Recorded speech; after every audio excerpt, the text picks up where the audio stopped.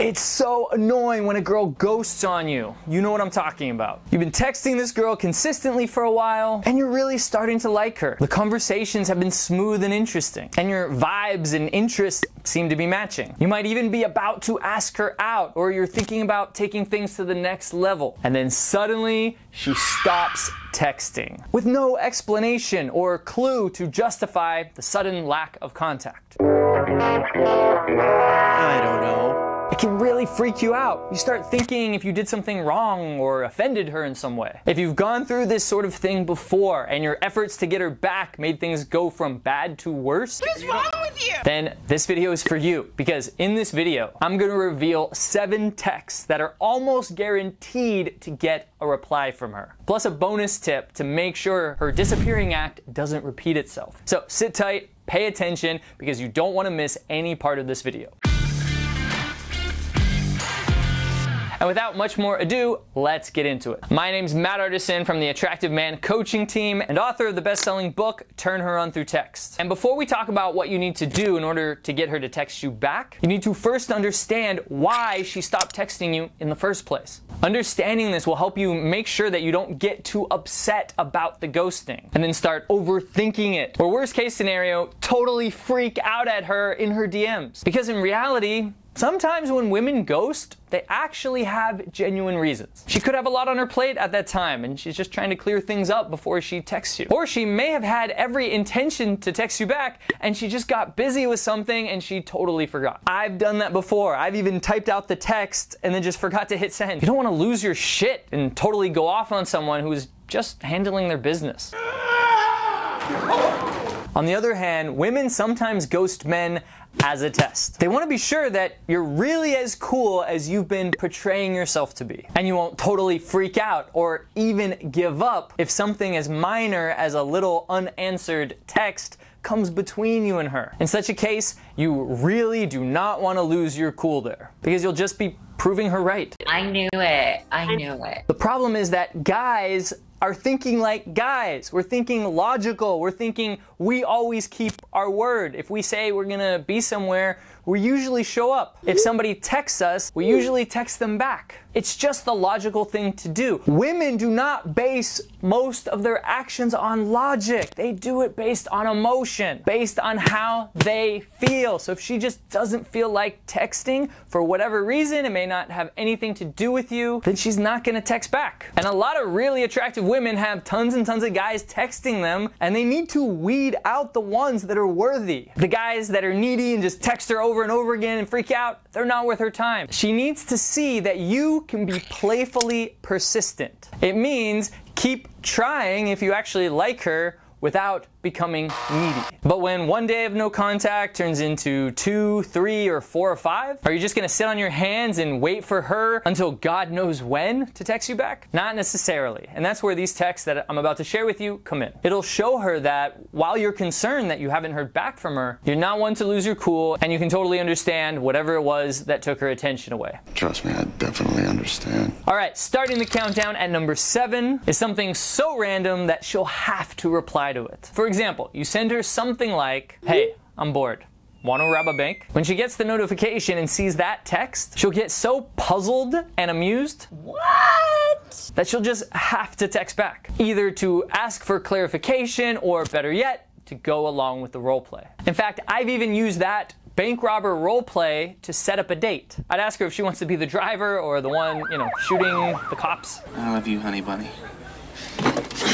Everybody be cool, this is a robbery! And then I tell her, okay, we need to meet at such and such place across from this bank to decide all the details of our heist. And then I tell her what to wear, like sexy stilettos, a short skirt, and of course, a ski mask. Now, she didn't actually show up in the ski mask, but she did show up. And no, we didn't rob a bank. But we did do some other mischievous activities. But the point is, it shows her that you're just a fun guy and you don't take yourself too seriously. And that you're not affected by her not replying back. In fact, you didn't even notice. Number six is almost guaranteed to get your response back because it uses a technique called a bait to bait her to reply. Text her something like, I think you have a confession to make. She'll see that text and will be practically obligated to reply almost immediately with something like, I don't have a confession to make. Or, what are you talking about? Or, what is it? And you could reply with something like, I think you're really into me, but not sure how to tell me. This will either make her laugh, which is great, or get her to tell you the truth, why she hasn't been texting you back.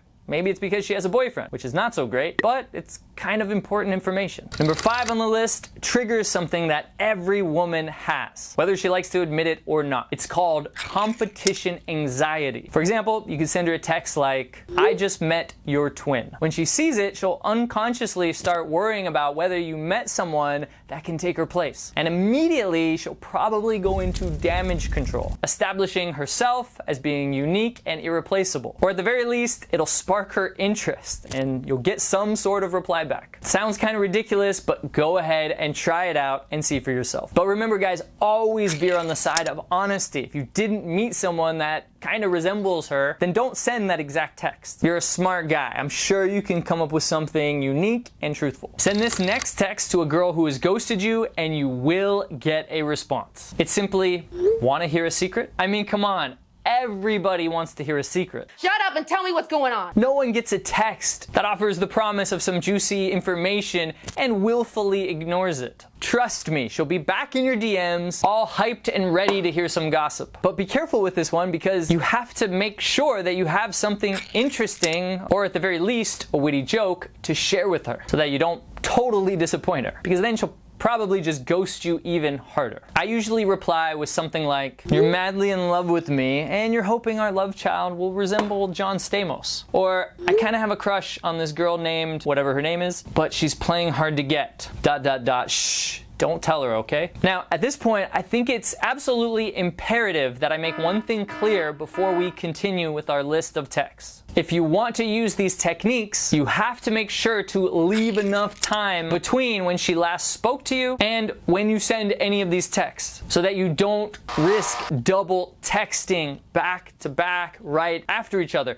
It's okay to send a text, a couple days go by, she didn't reply, and then send another text. But you don't want to do that an hour or two or even the same day after you sent a text is a telltale sign for a woman of a man on a path to a freakout. It just doesn't present you as confident as a man of value should be. And if you're not a man of value, why would you even expect any woman to waste her time on you? A woman once showed me a text from a guy that she really, really liked that she met online and he asked some question and then he waited a few hours and then he simply sent a question mark and just that little character, that little innocent question mark completely turned her off because it shows her that he's not patient, that he can't just wait a couple hours for her to reply back. It kind of makes it seem like she's on your mind for that entire time frame. Like those 4 hours are going by and the guy is like checking his phone constantly, whether he is or not, that's just how it seems.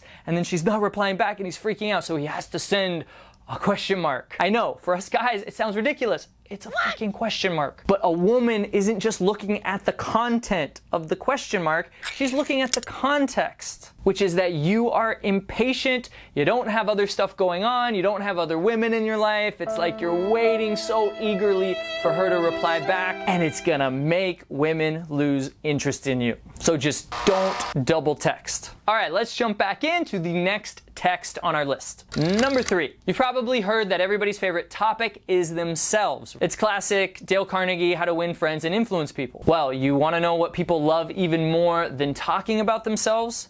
It's hearing about themselves.